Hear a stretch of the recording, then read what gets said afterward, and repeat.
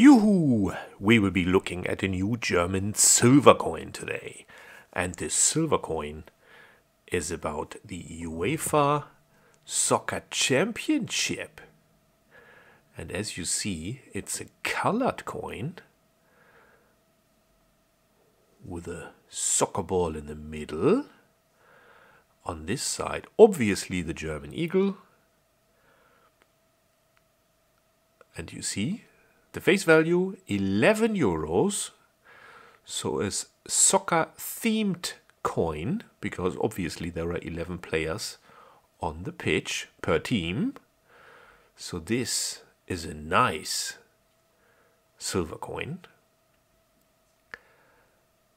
Silver, unfortunately, only 50% silver.